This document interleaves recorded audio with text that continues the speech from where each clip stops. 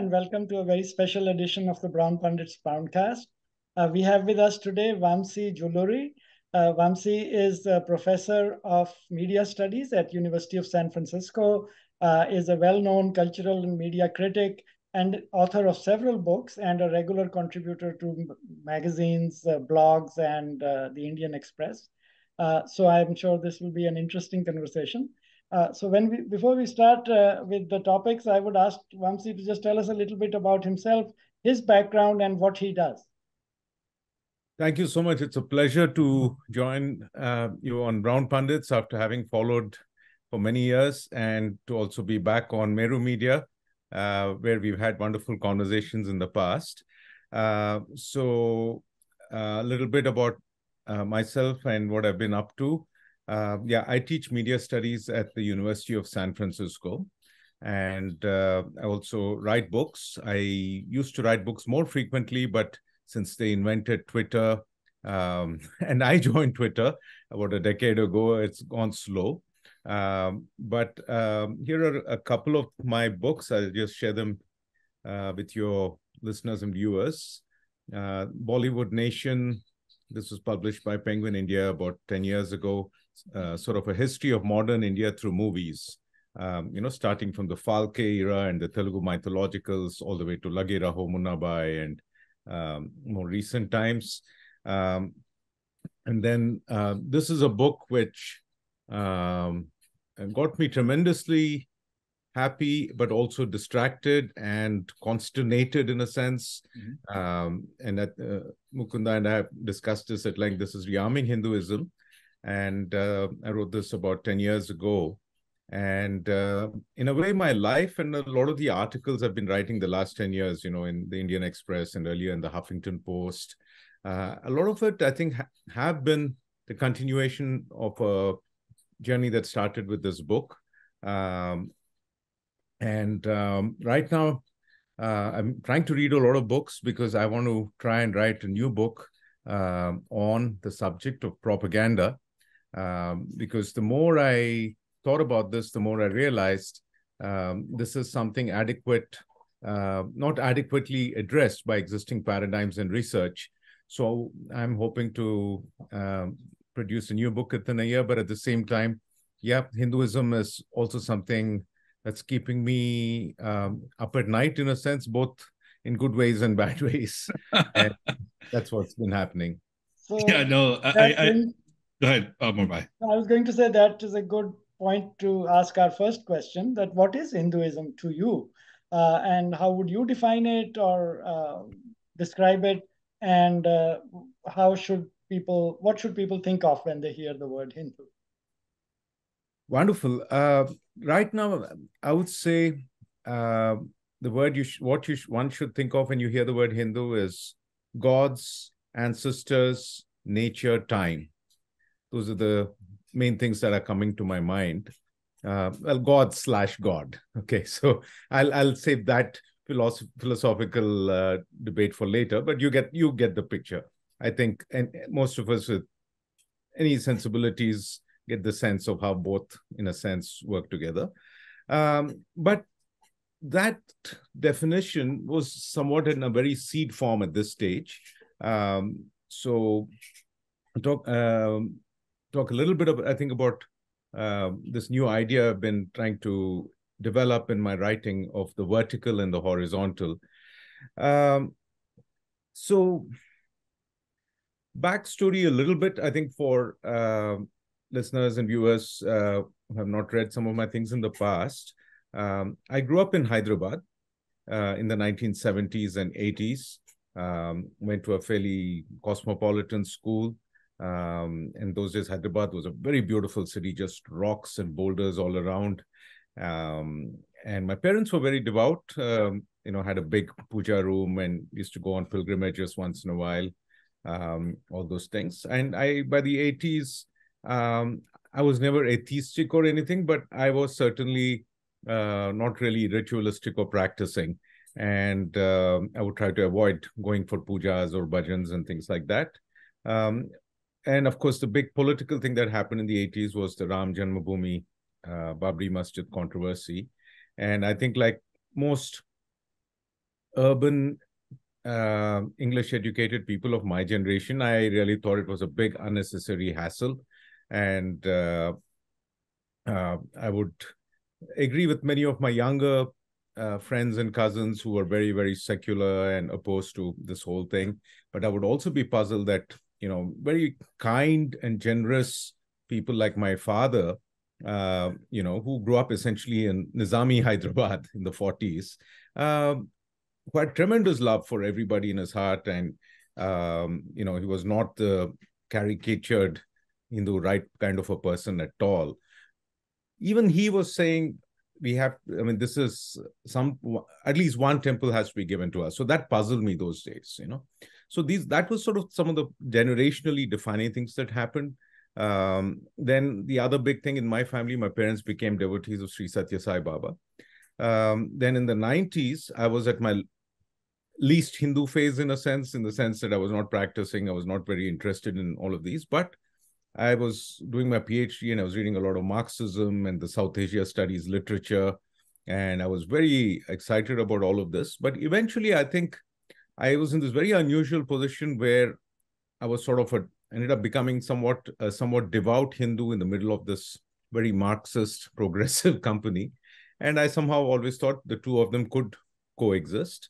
Um, and uh, then post 2000s, I began to notice there was an issue with Hindu misrepresentation in the media, you know, the California textbooks issue and so on.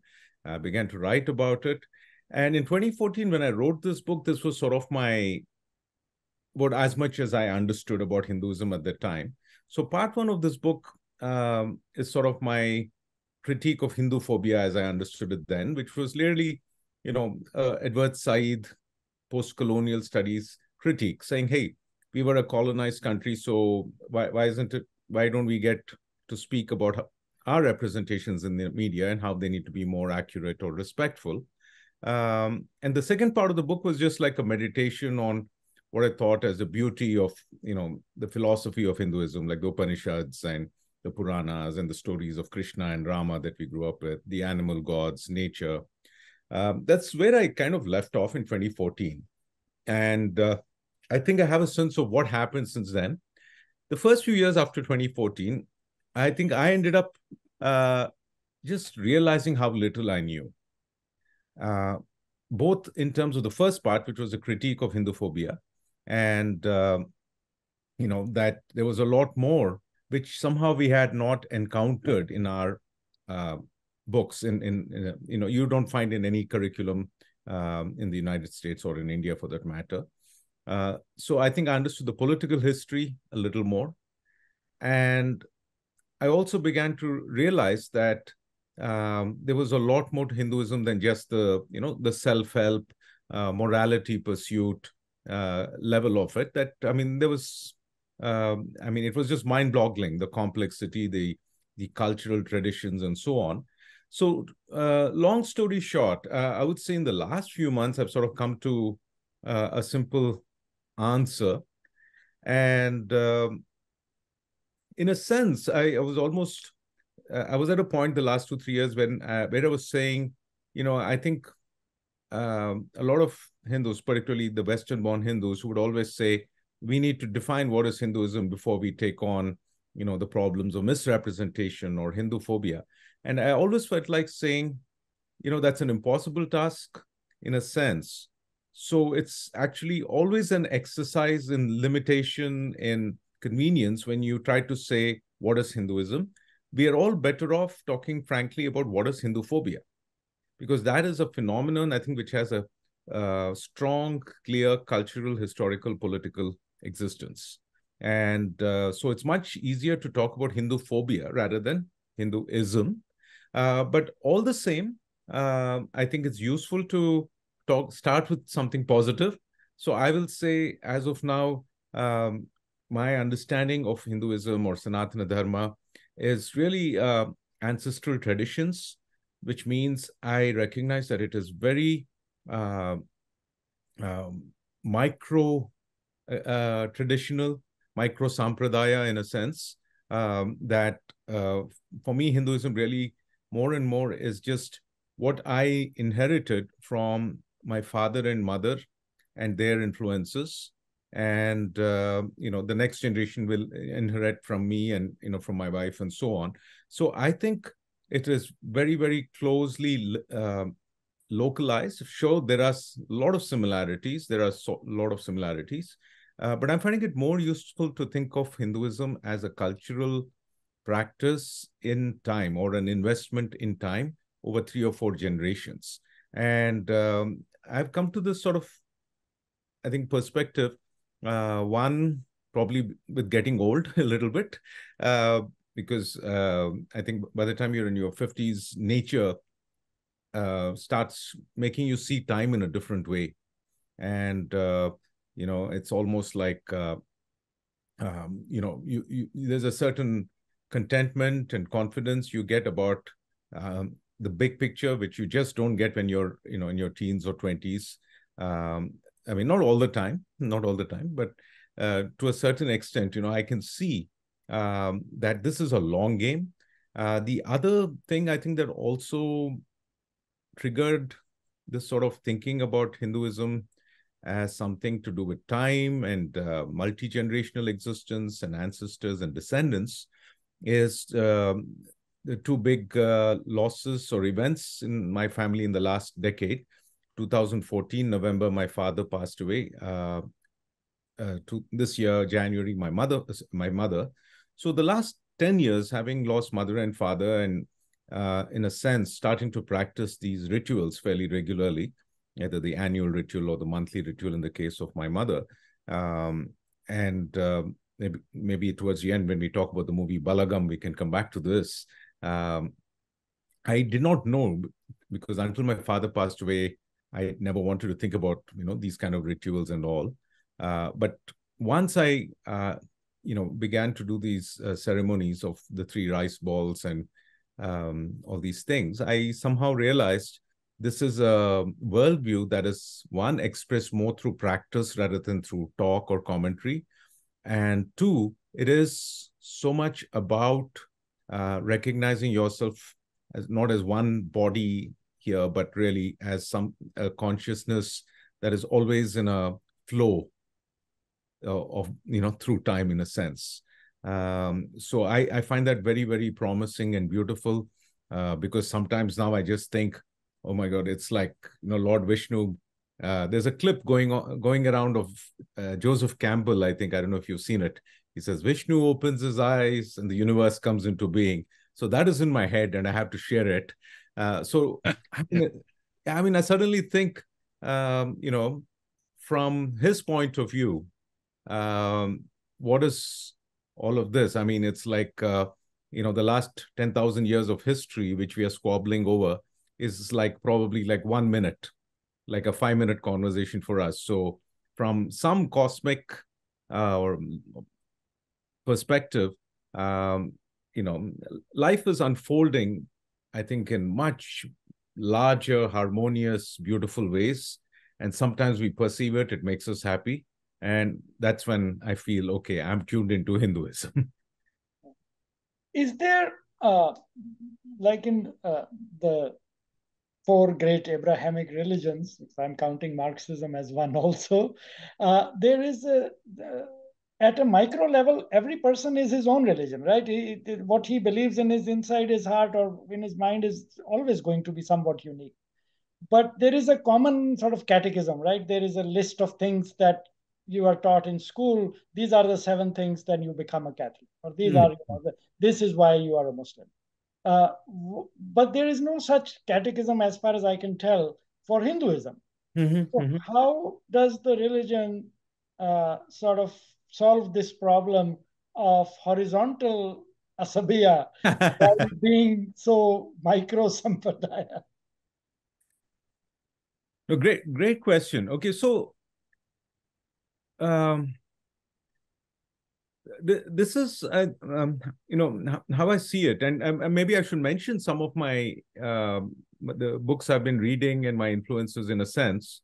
Um, uh, one, I think I've I was interested in the generational point of view as a media researcher. I was interested in youth culture and intergenerational communication and so on.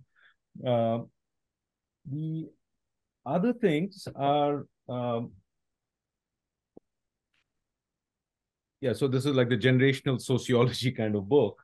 And, uh, but the other book, which is very directly connected to your question, uh, is, uh, you know, by S. N. Balagangadhara's Other Seers. This is sort of a, a smaller version of, I think, uh, some of his um, more academic books. So Balagangadhara's work, this idea of generational so sociology, and uh, another author who I've really found valuable is the Native American scholar Vine D. Wayne D.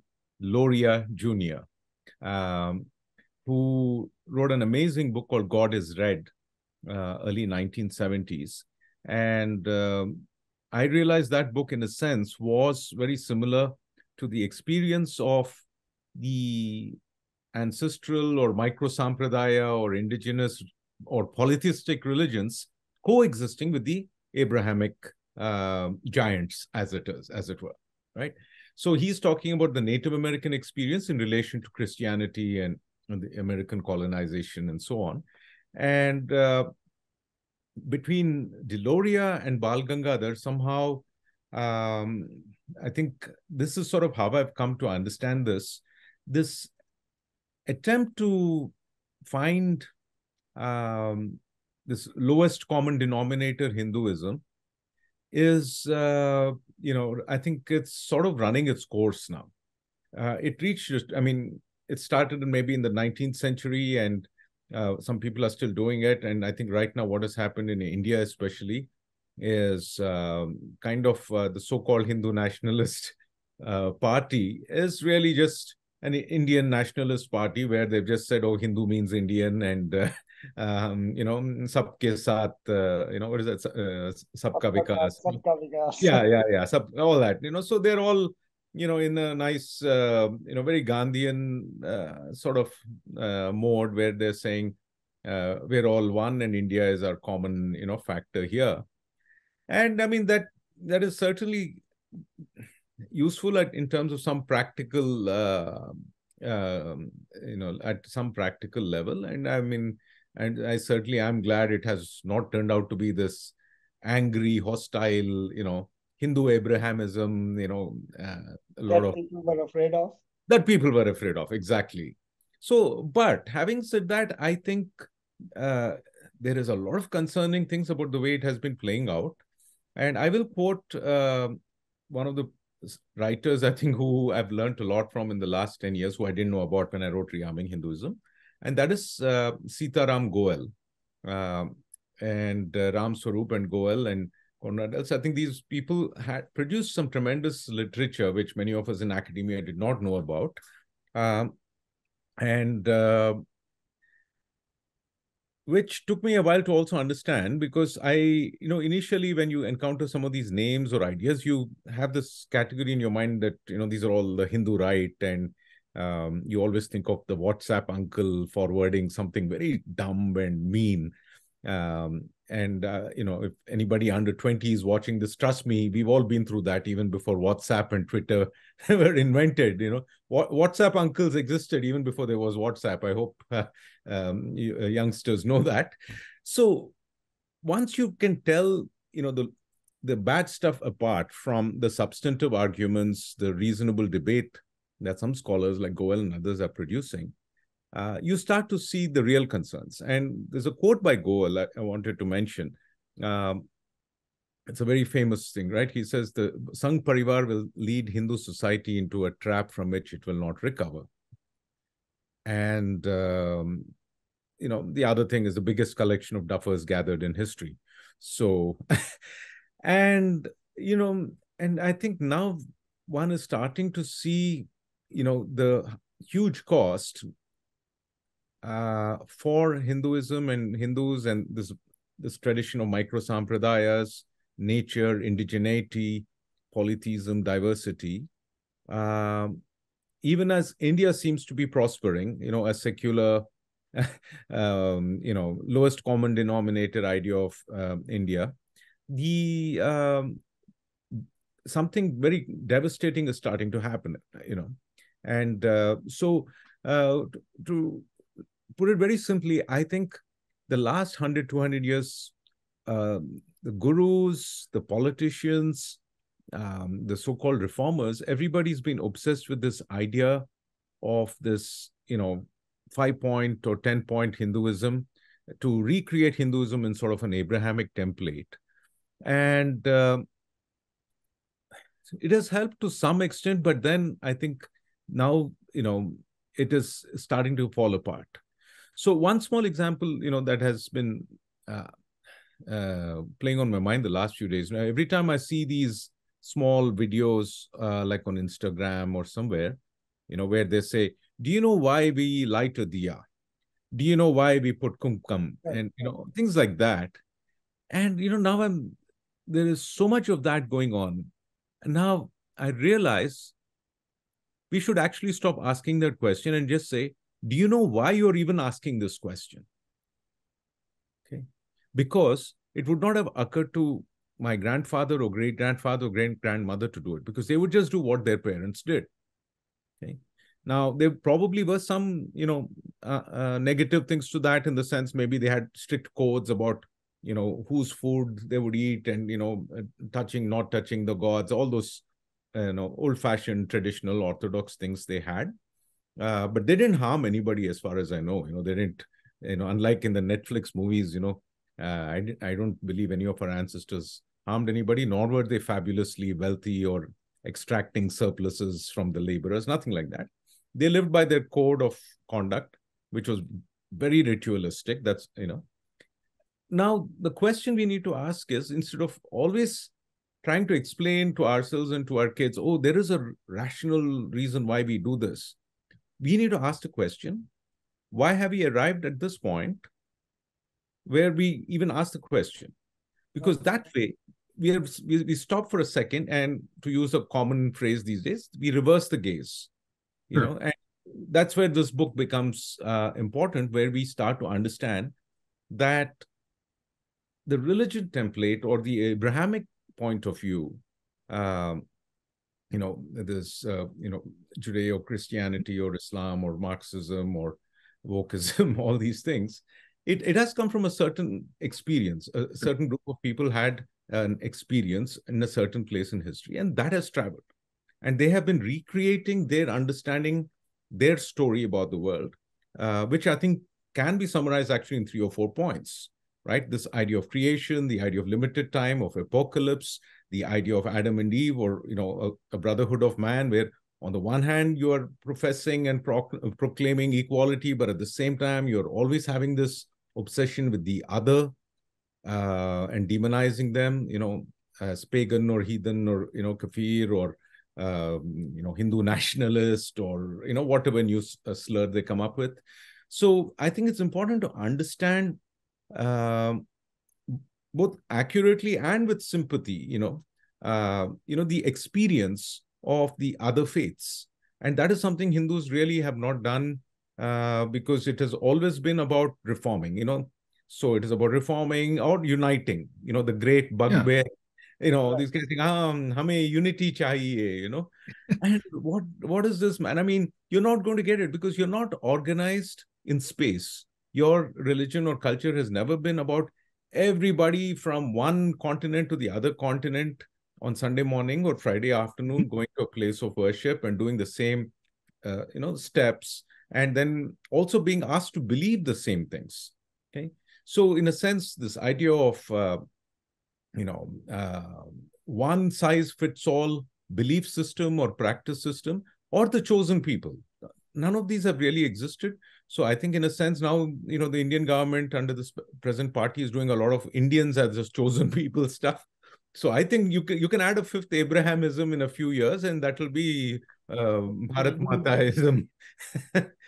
yeah. All right. I hope I don't get in trouble for that. but uh, is there an uh, example in a place like the only one I can think of would be something like Japan, mm-hmm. where there it is not an abrahamic country in that sense right? They have not converted to one of these four religions. Uh, they are still just japanese. And they have their traditions and their rituals and they have some things they have maintained. They maintain those rituals very very exactly. They are obsessed with it actually. Uh, the the building is made without nails or whatever you know that that's kind of thing. Uh, that even to the smallest detail they'll try to just replicate the ritual and not bother about ye diya kyun jalaya jata hai right exactly yeah uh, but is that an option in india uh, for people to treat their religion and their rituals. So, I mean, I have a thought on this, Omar Bhai. So, part of this is like, I think there's this drive amongst Indians and Hindus to think about their religion in scientific terms, as if there's some some reason why we're doing this. That's like we can explain in a way that fits into our current scientific worldview that the West has provided us and where everything has to have a rational reason that's connecting. Like this is why you get here stupid people say the vibrations will will you know women shouldn't chant the vedas because the vibrations will destroy her embryo whatever. This is nonsense right? Like there's a reason you don't need reasons. They have reasons within a particular tradition. They don't need to explain it. They just have a reason and they do it now if you don't want to follow that tradition then you have another tradition you can follow and this i think is the the reality i think hindus fail to sometimes get is not every tradition needs to be the same for everybody. It's like it, it's made. It, that's why there's hundreds of different traditions, thousands of different traditions. If you don't like Vaishnavism, go find Shaivism. If you don't like the Brahminical version, go find the non-Brahminical version. Right? There's this entire scope of different practices and different views. But the problem, I think, is Hindus want to become Abrahamized. We want to have this sense of like, oh, we we have one set of books, we have one set of authority, we have one set of way of thinking about the world, but we never this, had that does this come from sort of a position of weakness? Uh, because, as you know, Naipaul famously said, it's a wounded civilization. Uh, but that only goes so far, Omar Bhai. I mean, I mean that only goes so far in it, it, it's the sense of I think, and I'm sorry if, if I'm talking, but uh, too much here, but like I think there has to be this sense that we have woundedness only can survive as long as you don't fix the wound right? Like if you don't pay attention to it and let it fester, this is what's going to happen. But you have to fix it, right? The action has to be taken up by us.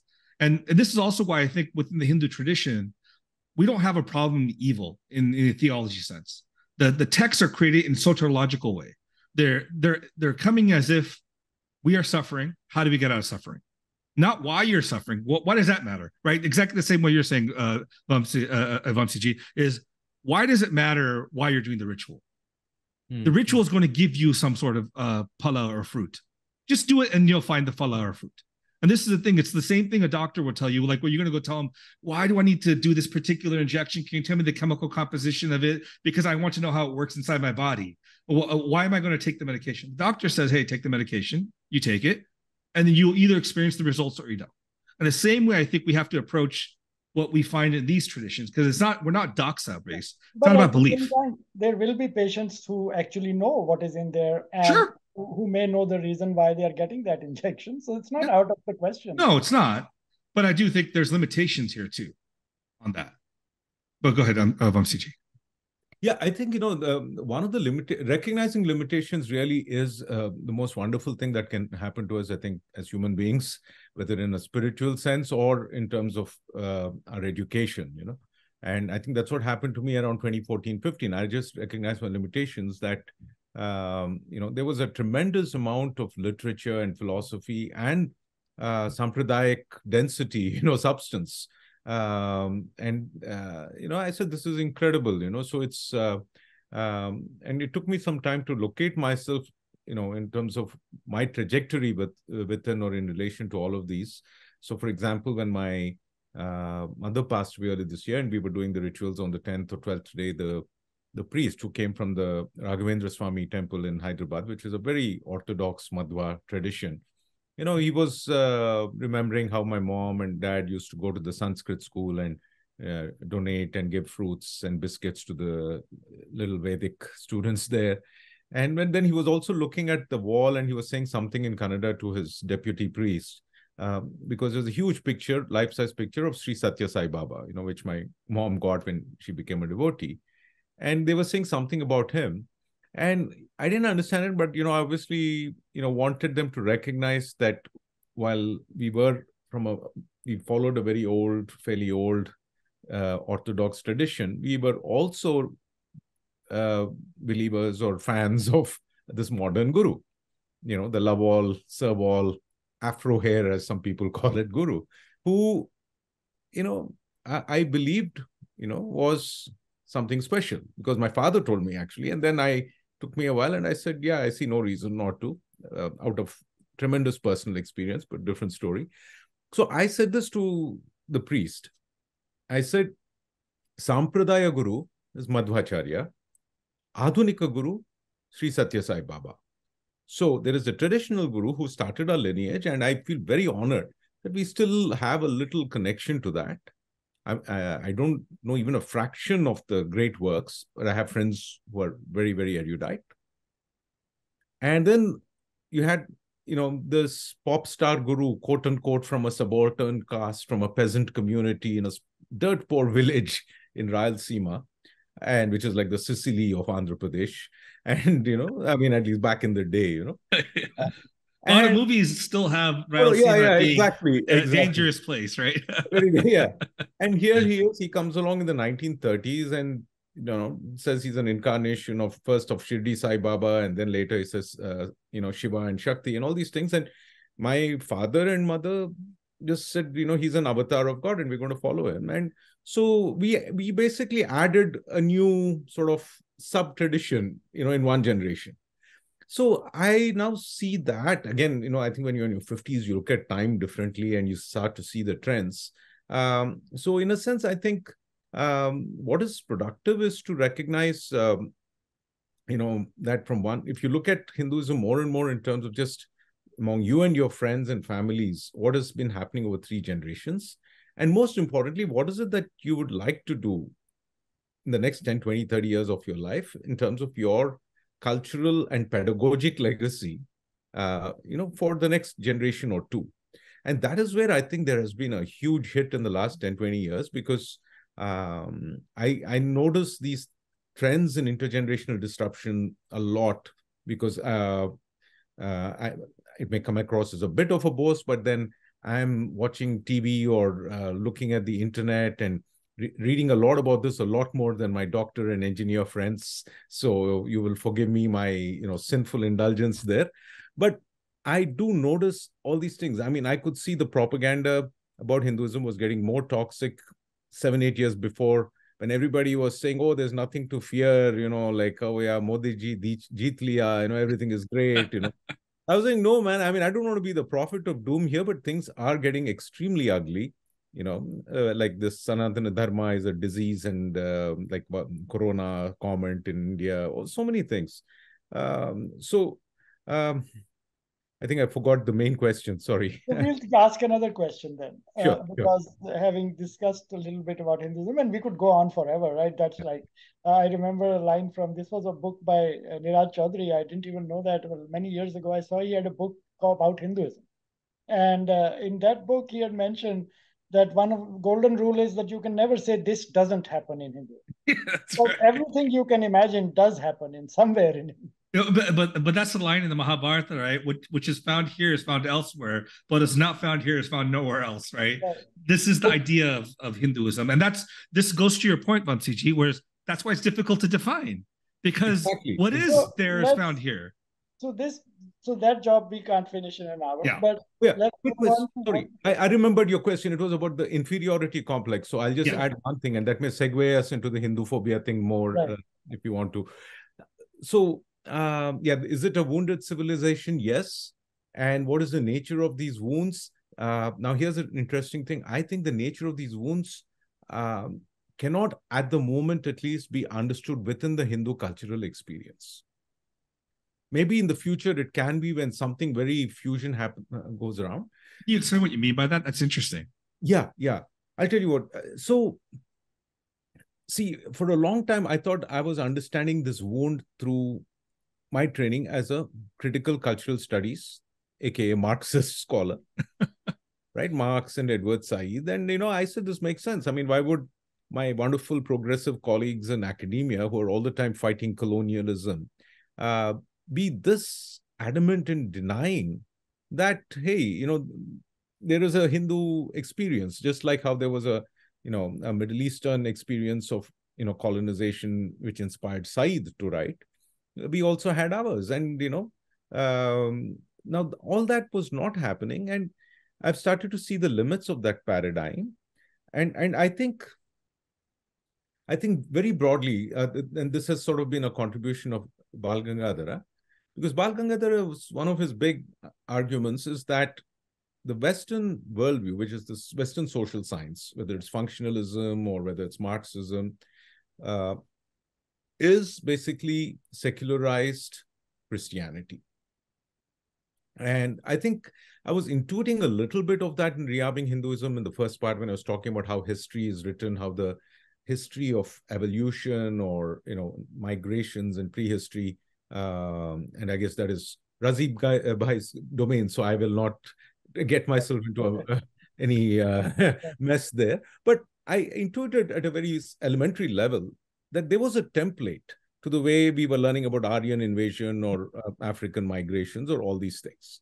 But now I understand, and I, I think I have a handle and a name for that template. And this is essentially the, the Christian worldview, which entered, you know, the, the social sciences. Right, through Hegel, right? It started with Hegel, the phenomenology of spirit, and then Marx takes it up. And then this flow of history is we get from the Hegelian concepts. Very, yeah. Yeah, and and as Bal Gangadhar says that maybe there isn't really even a Hindu worldview, right? Uh, the idea of a worldview. I mean, we have worked with one, we hypothesize one, and we can do it. Now, so the way I see it now, and I wrote a piece in Firstpost, uh, I think three or four months ago, um, and I said it was titled something like "Do Hindus lack a sense of collective harm?"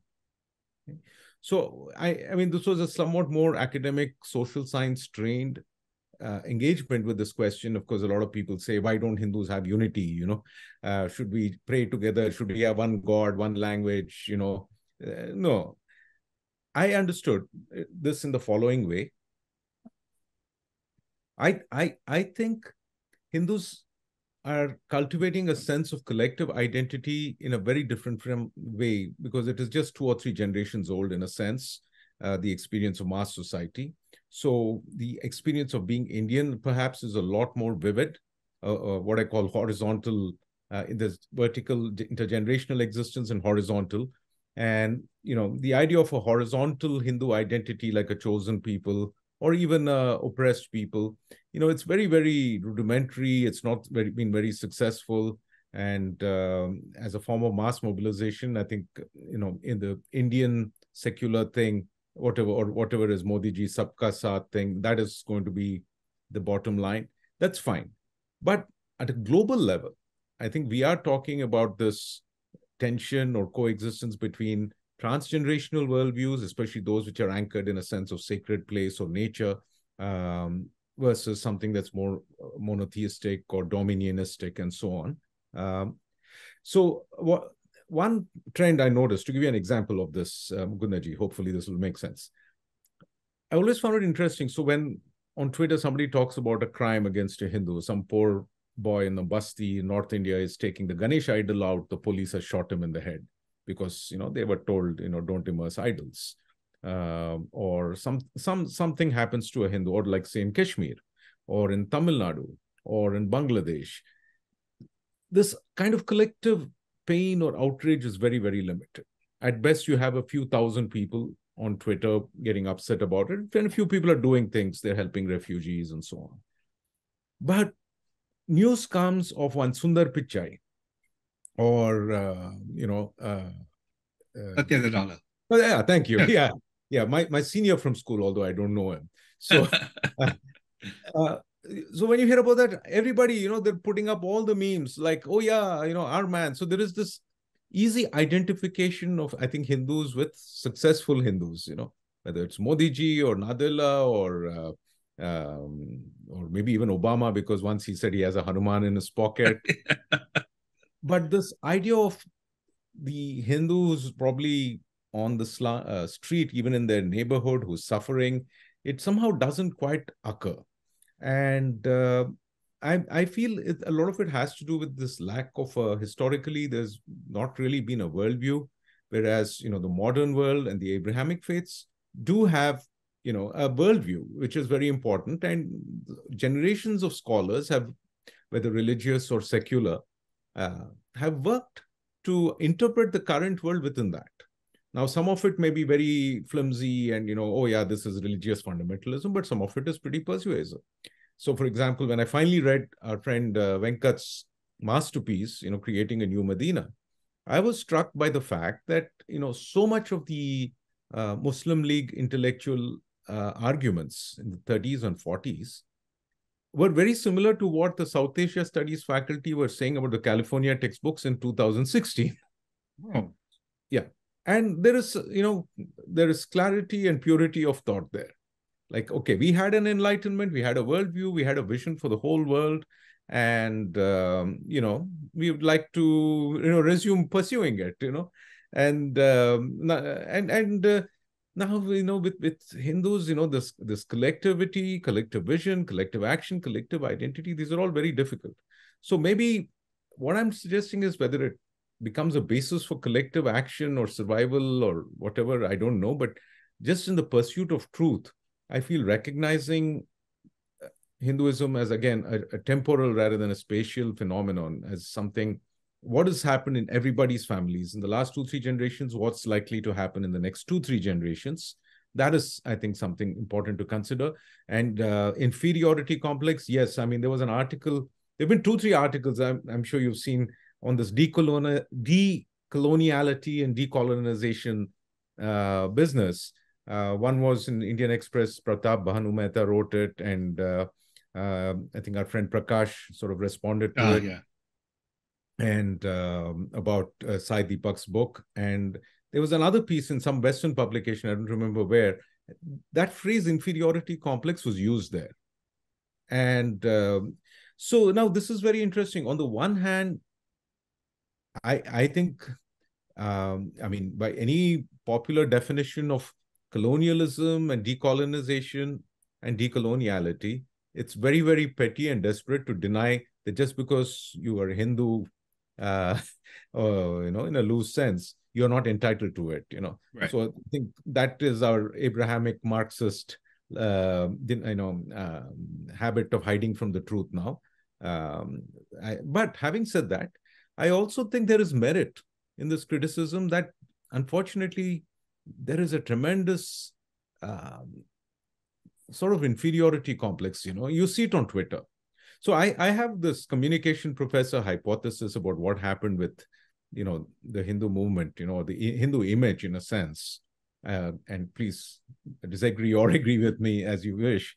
I, you know, I think a lot of modern Indians or, you know, people from the subcontinent or even Westerners, you know, till about 2010, 2015, sorry, 2010, 2015, many of us, especially who were in the, you know, went to public schools or JNU or, you know, the more Anglophilic uh, strata of society, did not have any encounters with the world of, you know, the RSS or the Sangh and so on. It was mostly through newspaper headlines and some very caricatured images.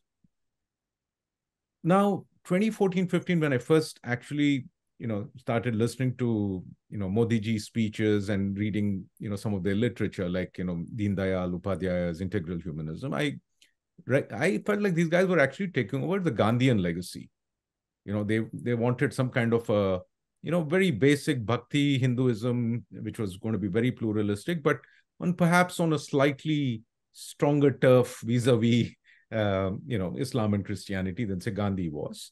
Um, so i said this is you know this guy is not going to turn india into a hindu fascist rashtra if after having read deen dayal that's what i feel. But having said that, I also did not see it coming. Maybe Sitaram Goel did. I did not see it coming that their idea of Hindu Rashtra or you know um, India shining or India Vikas, whatever they call it, would be a continuation of the you know destruction of this vertical Hinduism. First with nature, with place, build, building up roads some and of that but isn't that sort of the ro- modernity itself is Exactly. destructive of that? It doesn't matter if it's Modi running the country or someone else. They are all going to become modern. Yeah, yeah. So exactly. So there's mo- modernity. There is no critique of modernity uh, in the in in India today. I think from this quarters. So it's very sad. I mean, as uh, I mean, there are a few people. But is there, uh, while you are a little bit pessimistic about how things are going, Yeah. uh, is there also, isn't it also the case that uh, 50 years ago, the Western worldview was very self-confident, right? Ex- overconfident. Mhm. Uh, but today, that doesn't seem to be the case. They're still the dominant force in the world, of course. They run everything pretty much. Mhm. But it's not, there are cracks in the edifice, though. Uh, so Yeah. you may be at a point of time where the dominant themes themselves will become uh, shaky. And that does provide opportunities too. Yeah, I hope. I mean, yes, certainly. You know, I think their superiority complex days are coming to an end. Right. And I hope our inferiority complex days also come to an end, and certainly with accomplishments, you know, like um uh, whatever the, the space mission and science, and there are there are a lot of things positive. You know, I I think you know even despite my habitual pessimism of, about the world, which you can uh, attribute to the prophet Marx maybe. Uh, uh, I, I I know I recognize there's a lot of optimistic things happening, but I do see the need for, you know, this is what I'm trying to maybe get a little prophetic about that we, there needs to be a revival of this sort of, um, um, you know, uh, a, a space outside of modernity, because modernity is destructive, like you said. You know, it is It is. constantly environmentally, every socially destructive, and uh, you know, so I think unfortunately the the sort of uh, Hindutva bandwagon, you know, as it, as it is called, if you may still call it that, or the BJP bandwagon, is so rooted in it. Like for example, Mohan Bhagwat ji, right?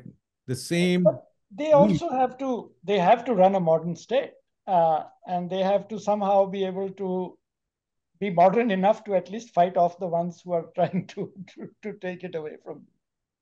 Who, who's trying to take it? Like the rival party, you mean? Or- No, no, I meant no, no, not the rival party. That would be civil war. I was just thinking that if, India, after all, if it's not modern, will be like uh, parts of Africa. It's just open field for everyone to come and take it. Uh, you you can't possibly be not modern, can you? Well, I, I think that the model of mon- modernity that they're in some ways aping from the West is the problem. It's not modernity in and of itself that can be the fundamental problem. It's the the, the mixture of like I was going to say consumerism that's unfettered, plus uh, the idea that there's no repercussions to one's actions, and those repercussions can be pushed off as far as as you know next generation These are, these are debates and things that are happening within Western countries themselves too. Sure, but that I mean, but but this is something where what I was saying is like the, the point I think is like India again, maybe through history in some sense, is still behind the ball because they didn't have the industrial age to really go through to deal with these concerns. They're suddenly thrust into the modern age from a, a, a very different age. from a very different age. Okay, but let's let's ask Vamsee about Hindu phobia. What is that, and where is that coming from, uh, and uh, how does it sort of play out, especially in the West? Okay, so uh, there's a history to this. Okay, I, I think this hopefully is easier to answer than what the what is Hinduism and our complicated relationship with modernity. Um, uh, certainly. So Hindu phobia, I mean, the term has been widely popularized, I would say, in the last 10 to 20 years, but it has a fairly long history. And uh, this history was, uh, you know, researched by uh, a friend, uh, a Western Hindu scholar, uh, Sarah Gates, who's doing a PhD in Australia. And uh, she found that um, the term was in use by anti-colonial English writers, British writers, like in the 1800s, uh, 1866, 1883. Um, you know, it was, you know, they were using the word. It was a fairly common sense word to describe a feeling of, um, you know, prejudice or disgust or, you know, towards people of the Hindu faith or the, you know, traditions. Um, 19, in the early 1900s, it was used by one of the uh, earliest Indian scholars, a Bengali scholar living in the in the Bay Area. I think one of the Gadar associated people, if I'm not mistaken. Uh, then Siddharth Patel uses it in the 50s. Then it's sort of very few usages. Then late 90s, 2000s, you know, you find, uh, I think, the new generation of Indian immigrants here starting to use it here and also in the UK.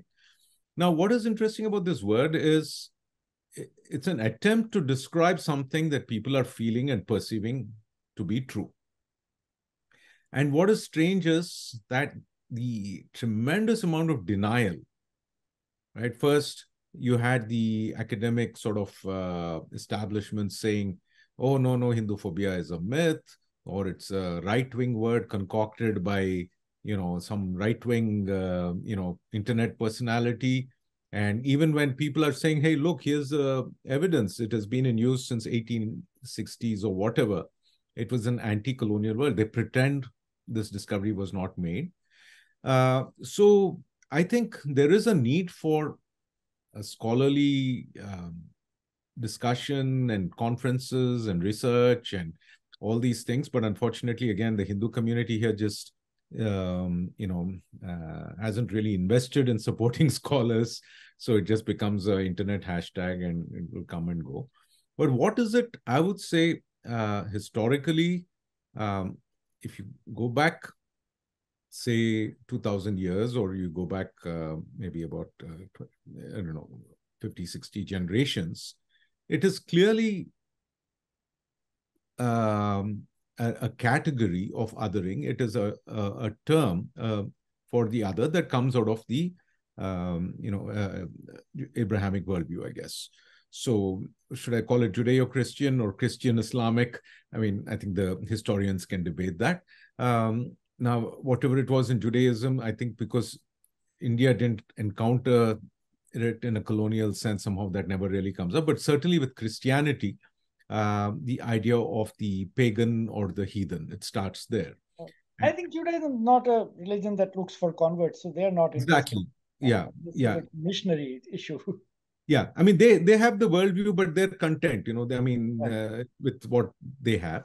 So I mean, everyone is false to them, so it doesn't matter. I mean, they're, they're equally, nice, equally unnice. yeah, that's a nice way of putting it. Yeah. yeah. So there's a great book by Sitaram Goel called Hindu Christian Encounters. Um, I think 8300 onwards or something. So the earliest encounter he has is there were apparently some Hindu temples uh, somewhere in, I guess, modern day Syria. Uh, you know, the traders who were there, and uh, some of the earliest uh, Christian converts there actually went and destroyed it. And uh, and then over the centuries, you find you know that there was this figure of the heathen that they had. Of course, the first heathens they attacked were you know in Europe itself, uh, but eventually the whole heathen and pagan hate thing uh, physically came towards India, and uh, you know starting with you know the Portuguese invasion and Inquisition and all these things. Um, and then you also have the um, you know, Arab, Persian, Turkic, the you know the coming of Islam into India, which also had a religious conversion uh, aspect to it, which again a lot of I guess academicians and historians now don't want to accept at all. Um, so I think there is you know the, the you know the idea of the Hindu phobia is in a sense um, uh, an iteration of, I guess, pagan phobia or kafir phobia or heathen phobia, call it what you will. It's a great book called Heathen, I just finished reading, um, it talks about the figure of the heathen in American history. And it's incredible the similarity, the stories these kind they had in the 1800s and 1900s, whether of Hindus in India or uh, sometimes even of Africans and uh, Hawaii, where the fires just took place in Maui.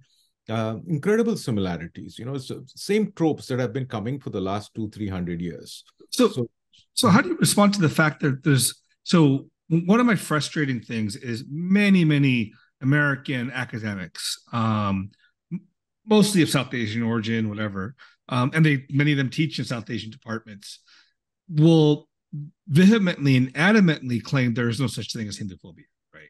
They're they're very clear on this. There's no such thing.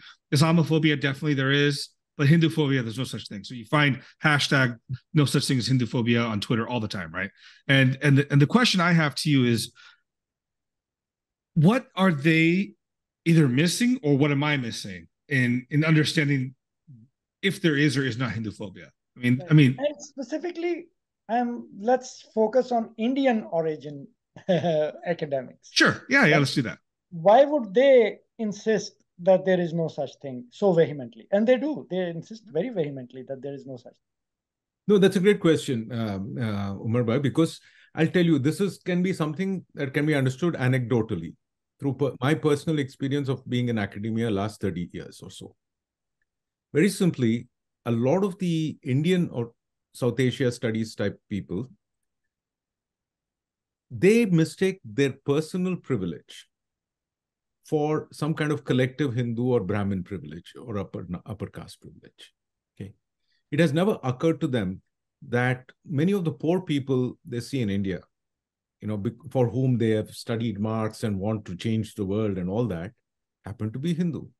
They're the people who are fighting to keep the temples going. They're the people who are fighting, um, and they're, they're the people voting for Modi. Let's face it, because they hope Modi will say not only give them, you know, roti kapta makan, but also mandir, you know, in whatever form. I mean, it's a pity that mandir business has become a spectacle, and tourism and eco destruction you know that's a slightly different concern but the poor are hindu in india. I mean so there is this very distorted understanding i think uh, many uh, you know south asia studies academics have where they sort of project their own family's uh, privilege maybe because their parents came here in the 60s and you know worked for nasa or ibm or you know did well in life and then they will add to that some personal anecdotes. And unfortunately there are personal anecdotes you know you some of them might be real like you know a father or mother who said something mean about somebody's community that could that happens. It happens in every community. Exactly exactly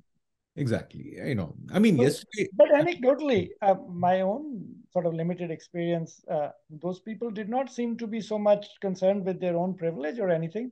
Uh, but the ones i know i don't know it's just a sampling thing were almost uniformly marxist yeah. Mm-hmm. and or, or, thought of themselves as some of them are not Marxist, they like the term Marxian or something, or Marxist lens, or you know, there's all kinds of ways of trying to say they're they like Marx, but they don't really like Marxism. Uh, but whatever it is, it comes from certain a certain sort of left wing ecosystem in India. And why is that ecosystem uh, so sort of like this? Uh, is there uh, are they right? Are they wrong? Why are they wrong? Yeah, no, I'll say they're wrong because simply, again, I, I was trained in that ecosystem and I think I was the outlier in the sense that I had to figure out a way to keep my respect for what whatever I learned from Marxism, which is understanding there's inequality and understanding the causal relationship between wealth, exploitation, and poverty. All of that, you know, I haven't let go of that. Um, and in a way, Gandhian thought was sort of a bridge for me, I think, from Marx to a critique of modernity uh, so I didn't. I, I think I I studied Marx as a as a social commentator and not as a prophet or religious guru. You know, I kept my guru on the top shelf and Marx below him. so that's kind of how I turned out like this. I think, uh, but yeah, no, Hindu phobia is real. I mean, you know, it's it's just incredible that. But people, is it hmm. what is it about these people that makes them say uh, be like this? Uh, what is it that what threat do they see? Or what what is their aim that they feel is under threat from so-called sort of hinduism? Two things. I think at the personal level it could be just uh, it a lot of it is also um, a mistake on the part of uh, the emerging indian right-wing ecosystem or nationalist ecosystem i think there was a window in time like about 10 years ago for a few years when um, a lot of uh, you know young people could have been persuaded that there is a hindu grievance and uh, the answer to the grievance you know the kind of the liberal hindu thing kind of like in my rearming hinduism book you know which is a bit gandhian and you know which just says hey um, let's stop denying what happened in the past but also let's not uh, use that to you know call for revenge or anything now. Let's all get along now. But you know let's also you know some you know in a very you know sabka saath. That was my sabka yeah, kumbaya my, you know let's all kumbaya together yeah, kumbaya, right right. Now now what happened was i think unfortunately the last 10 years these guys, because of their famous anti-intellectualism or the fact that they're not really about Hinduism as much as nationalism, uh, they ended up, or maybe it's just the coming of Twitter and social media and the wider polarization that has also happened in the US, right? This right left split has happened in a very big way. So, in the last 10, and also a generational change. So, I think as a result of all these issues, um, it's become very hard now. So, early 2000s, I still had some of my Marxist friends who appreciated what I wrote. Uh, you know, because they would listen to what I had to say. You know, I think right until that essay, Hinduism and its Culture Wars in 2013, uh, there was dialogue with a lot of my, uh, Marxist colleagues and friends, and it was always respectful and friendly and all that. The last five, seven years, you know, that has declined. Yeah. Um, so let me ask you this question, right? So many, many times these same people mm-hmm. um, will, will, and many of them are based in the US, right? And their response to, for example, let's say in the South, uh, uh, people pulling down the statue of a Confederate soldier and you know putting up something else or destroying Confederate landmarks or um, white privileged white uh, landmarks or so on and so forth. They're lauded, right? You know, oh, good job, we fought the colonizer, the oppressor. But the same thing when you look at India and you see, like for example, like renaming the road from you know Aurangzeb Road to whatever they call it now. It's oh, yeah, yeah. Abdul Kalam. Oh, this is this is this is uh this is Hindu nationalism. This is it, it, what I find is there's this dichotomy that I just can't reconcile when they're they see one people as being the oppressor in this situation in America, but in the other situation, another same invasion kind of thing story happens. The only difference is the the people that are invading still remain for the mm-hmm. for in, in a significant number, right? So like uh, uh, like if, if today it's like you know if uh instead of calling it New York, if if someone wanted to go back and call it whatever it was called before uh you know the the Dutch came over, you know mm-hmm. people would be like yeah let's do it. But mm-hmm. the same thing happening in India would be like this is horrible. I mean, isn't that in and of itself a case of like Hindu phobia, like the idea that that you shouldn't be able to call things back to where it was before? I don't know. Just some thoughts. Yeah, I, I think so. The, the, the sort of conclusion, I mean, Hindu phobia, people might look at it uh, in, uh, through history, through psychology, through different perspectives. But as a media researcher, yeah, uh, um, you know, the one small peer-reviewed publication I got out, which was a methodology for studying Hindu phobia and media representations, like uh, you know, a typology of tropes and uh, themes. Uh, like you know, how do you recognize something as Hindu phobic if you see it in the media? Um, so I, I laid out a whole grid in this uh, chapter, and maybe we can, I can we can share the link later. Sure. Yeah. Uh, so at the end of it, I define Hindu phobia very simply as a form of propaganda, because now, especially the last ten years, the only explanation I could arrive at ultimately, you know, for the kind of questions you thought about, you know, and uh, because it's the same thing, I thought from 2006 when I first wrote about Hindu issues, you know, starting in the textbook, California textbook issue in the Chronicle, uh, till about 2016 or 17, I really thought there was I was going to be like this liberal bridge builder between Marxist academia and you know uh, the the angry, unruly Hindu crowd or whatever. And it was my naivete in a sense. Uh, but I, you know, the divides are deep and a lot of the divides some of it is politically i think orchestrated uh, because it, it is you know everybody inherits divide and rule. So i think you know the, the bjp ecosystem now you know has figured this out you know. Let's let the you know let's keep the spotlight on all these people who are hating on hinduism like you know the dmk stalin and whatnot. Um, and you know uh, says look look if you don't vote for us they'll come and what is their idea of Hinduism? Of course, again, it's basically touristification. Mohan Bhagwat saying, "Oh, we oppress you for two thousand years, so now for two hundred years you have to suffer." Um, you know, uh, you know. I mean, the, guy is more woke than the wokiest person in, in, in an American high school today. You know, the venerable Mohan Bhagwat. But in a way, uh, don't you think that is also uh, you can tell your anti-Hindu phobia friends that uh, that is proof that there is these people are actually pretty harmless. Uh, see, this goes back to the inferiority complex point. See, see, when I first personally met people from this um, uh, community, the crowd, the uh, the Sangh Parivar or whatever, like uh, seven, eight years ago, that that's the first thing that occurred to me. These are harmless. You know, these are like you know the Forrest Gumps of India. They're very patriotic. They're civic minded and all that. But two unfortunate things have happened. One is the severe anti-intellectualism, and their kind of their own colonial mentality in a sense. You know, I have a friend uh, in UK who always uses this phrase called half colonized, full colonized. So by full colonized, he means the South Asia Hindu phobic crowd, you know, who are completely rabid and disconnected from reality and they're defending their colonial worldview.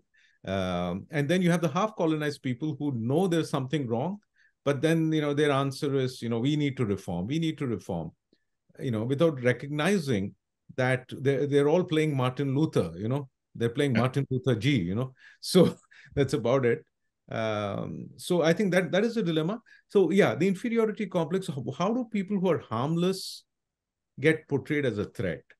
I think what has happened is, and this is just my personal hypothesis, until 2014 15, most of us did not really know who or what the Sangh was. At least I did not.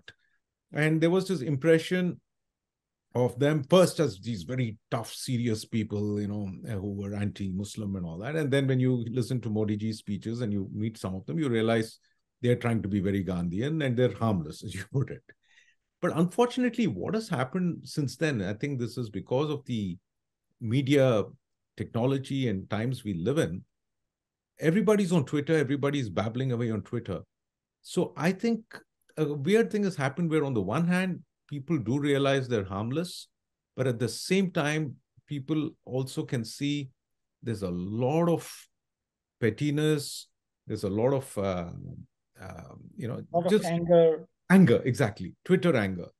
So it has become very easy now to maintain the story, you know, the propaganda story that, you know, these guys are Nazis and they're going to take away, you know, citizenship for 200 million Muslims. And but that that brings up the question: to, it always strikes me that the easiest sort of answer to all of these things is uh, for you to ask them why is india being held to a standard that is applied to no one else mm. right mm-hmm. there is uh, forget about whether hinduism is good or bad or whether bjp is evil or not they're evil they're bad whatever mm-hmm. but similar bads and similar evils then exist in america in england in germany uh, mm-hmm. Much higher levels exist in Pakistan and Saudi Arabia, uh, but we treat them as normal countries. How come these people are treated differently? I think that is the Hindu phobic or pagan phobic uh, axis, you know, in the sense that, um, you know, uh, they, they are trying to avoid confronting the fact that um, there is a mess in their solutions. You know, there is a mess inside them you know that uh, you know that cannot that has to be addressed you know. Um i i mean yeah i mean that's the only uh, i don't know. I i, I don't else to say? Yeah yeah. Okay let's you know we'll run out of time. We'll have to do this another time and do some yeah. more uh, detailed stuff also. But i because i wanted to go on to another topic before we finish and that's yeah. uh, films and uh, sort of soft soft power exports yeah, yeah. Uh, what is it that uh, I know you are a fan of Indian cinema, or at least an expert on Indian cinema? Uh, mm-hmm. What are your thoughts about Indian cinema and the role of cinema in all these culture wars?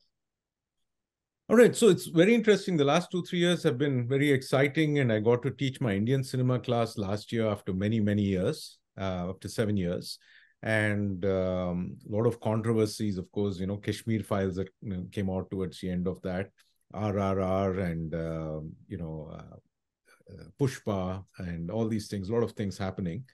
Uh, but I wanted to make one observation. Like in my Indian cinema class, we started with uh, a discussion about basically, I guess, what you could call wokeism in Indian movies, um, because you know Netflix had put out a statement saying it was losing a lot of money in India.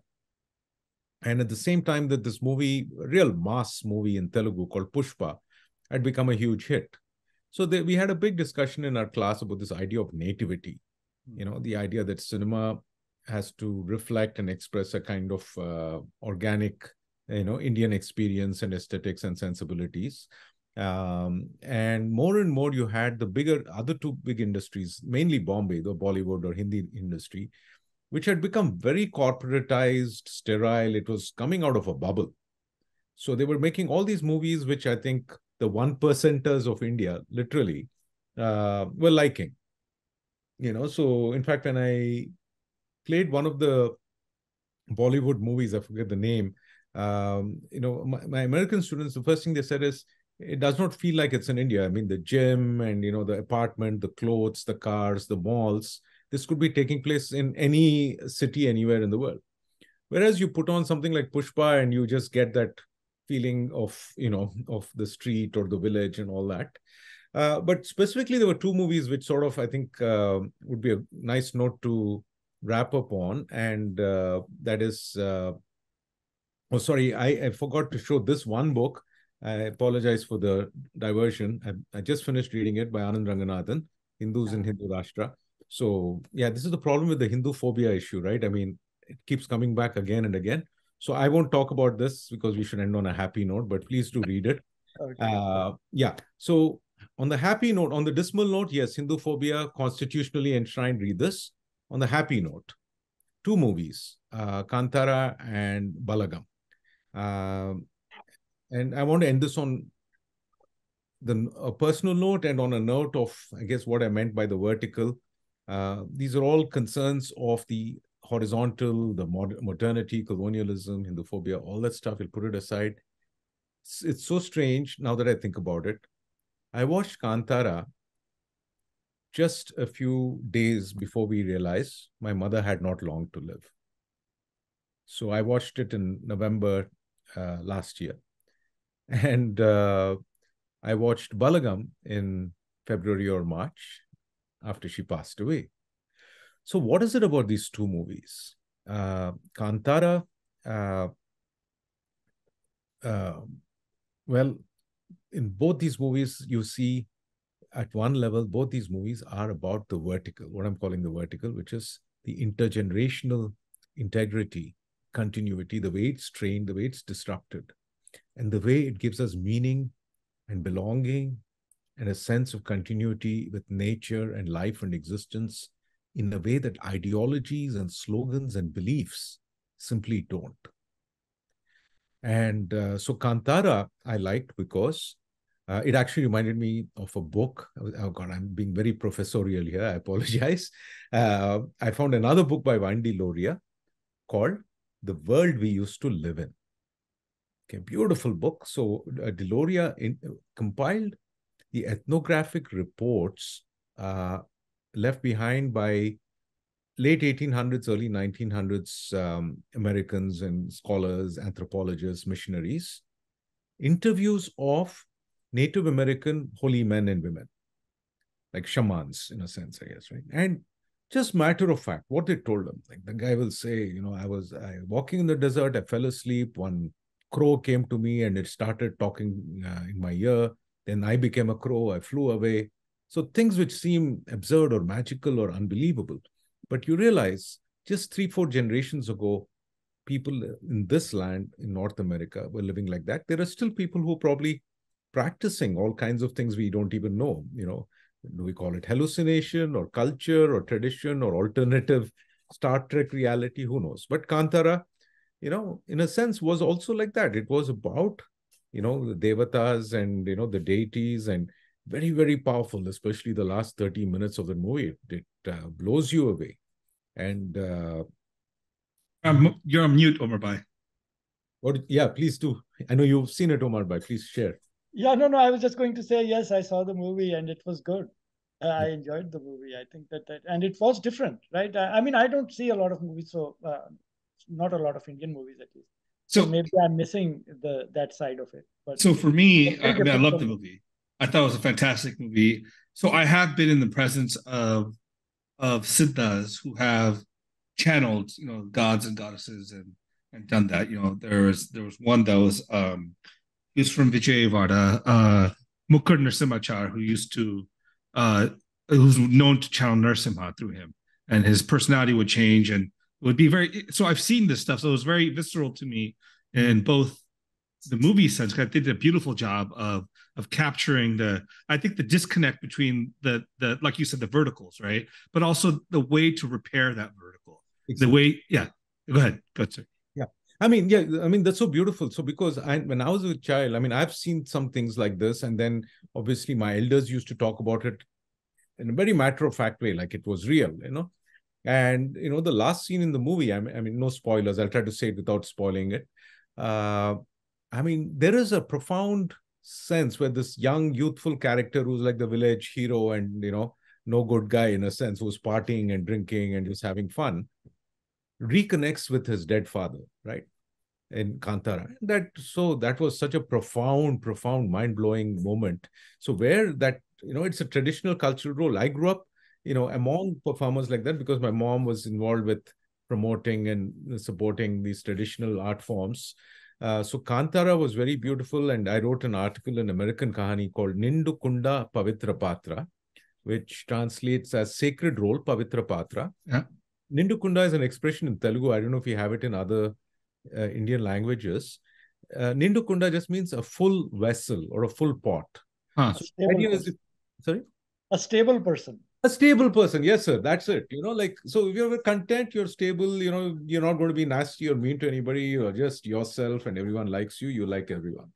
So my dad was sort of a nindukunda kind of a person. And pavitra patra my mom played all these goddess roles. So i kind of played uh, paid a tribute to my parents uh, after watching kantara. I think this was in november or december. January yeah. my mom passed away even while i was on the plane on my way to india. Uh, and then after coming back, uh, my friends told me uh, uh, there's this movie called Balagam, which literally means strength or community, uh, the strength you get from community. Mm-hmm. So very funny movie. It's set in a small Telangana village where the grandfather has just died. So all the family members start coming and gathering for his funeral. And it starts off as a bit of a dark comedy, you know, like a set, very typical satire. So nobody's even really bothered he's, that he's died. They're just going through the rituals. Everyone's got their own worries. You know, one person is worried about um, the inheritance, another person about something else. And then one problem starts, which is they have to uh, feed the crow. I mean, they have, they do the puja and keep the rice balls and uh, keep the food. And the sentiment in the village is that if the crows come and eat it, that means uh, Tata, grandfather's soul is happy. But it doesn't happen. The crow is refusing to eat. So it starts with this very comedic uh, small town you know uh, art movie kind of premise. And by the end of it man it is so profound. Because again see this is the verticals and you know in a sense is also to use another word jati parampara. Yeah. So when people talk broadly and loosely about annihilating caste they're not realizing that you know it is okay talking about annihilating caste oppression or atrocity or inequality yes that is commendable. But if you come up with this blanket cultural genocidal phrase right. you are talking about the very subaltern communities who are so deeply connected to the traditions of their fathers and forefathers and and it varies okay? So they, they offer the right like that, that is their support. Uh, you can see that there is a difference right between that kind of traditional poverty and the poverty of the people in San Francisco. Uh, is it's night and day different. Those people have a life. They have a structure. They have families. They have clan. You know, they are the, the even the lowest caste person in his own family and clan could be an elder, could be someone that someone looks up to. Uh, this is not the case in San Francisco. Uh, these people have nothing to look up to, uh, and yet people want them to become like this. Yeah, this is this is the modern the dark side of the modernization zeal you know whether it is coming from the nationalist right or the marxist left in india you right. can't destroy balagam. You can't uh... but here's the thing right? It comes down to two things i think for me. One is identity is relationship right? Because identity helps us build bonds because we connect with each other right? So these these jati groups whatever they, they have identity that lets them be, hey, we're one, we're we're someone if you got us. And what modernity does, it tries to get rid of identity, right? It tries to get rid of identity to make you a commodity, to make you a thing. and and I think this is the problem. That that's one. But on the good note, I, I want to leave on like just you said the, the happy note. No, So I lost my father in twenty in twenty twenty two, the beginning of of uh of twenty twenty two. So I remember doing the the full year of masakams, right? You know, every month you do your the shardam, the pindas, and all that stuff, right? And that process, you know, it's I think I learned so much more about my father and his beliefs about this than I ever did talking to him in some sense. And and then connecting deeper to his ancestors and what they believed and how they saw the world and how what was so important to them about this process. And to be shorn of that, I think it's like it's it, it can be it can be uh deeply painful because this is something that uh, no other way to connect to our past but through these rituals and these connections that you know they did that. I'm doing the same thing they they did the same way they're doing it. And and there's something there right? I don't know it, it, i think there's something beautiful about that. There's a chain there's a chain link connecting us to whoever the first person that started it or maybe it never started i don't know but it's connecting. I don't know but that's that's part of divinity right in some sense. Yeah. And i mean the way i see the, the, the divine perspective you know uh, in, in a sense i even as I, I, I think i wrote a little bit in the nindukunda article in american kahani you know this what is the greatest goal in hinduism for lack of a word a better word? Let's say you call it moksha. Yeah. i think we tend to think of it in the modern world as an individual quest you know uh, but i think in a sense it is intergenerational. So it is a continuity, you know, like in the sense that I believe very um, fervently that in a sense, in some form or the other, our ancestors are very connected to us even now. And uh, and we will be towards our descendants too. I mean, if we have them, you know, either directly or indirectly or whatever. So, but it it is all, you know, like Vishnu opens his eyes and this everything emanates and you know from formlessness it, it starts taking form and from his time point i mean think about it a billion years have passed by the time he has uh, you know fluttered an eyelash and then the whole of evolution has happened and you know the consciousness has acquired you know uh, eyes and gills and you know crawled out onto the earth and then hands and limbs and wings and uh, eventually uh, uh, you know a tongue and the capacity to talk. And here we are you know at least in this universe assuming there are parallel universes. And given the vastness of this temporal uh, sweep which is reality you know uh, and how little we even perceive it or enjoy it or marvel at it most of the time because we're more worried about monday morning or uh, 10 years from now uh, i think that is the beautiful thing and uh, again, as I think as a media uh, researcher and a teacher, uh, I feel the best thing we, we can do is understand because we're all media consumers, we're all media producers now.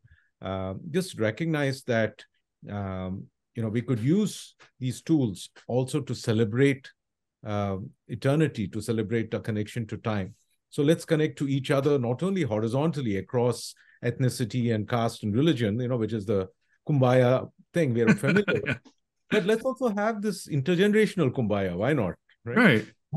no, that's great. We will we will end on this happy note. Uh, we do have other things that we want to talk to you about, so we have to get you back because we didn't even touch on what is probably the single most like the super weapon uh, is caste, right?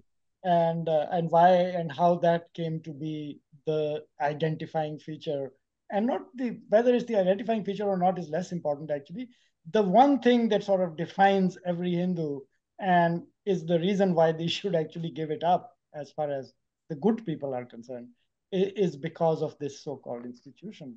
Uh, so, in any case, we'll talk about that some other day.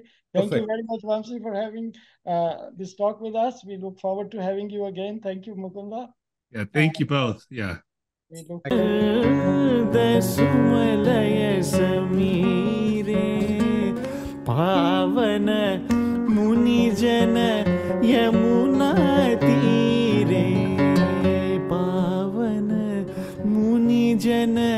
यमुनातीरे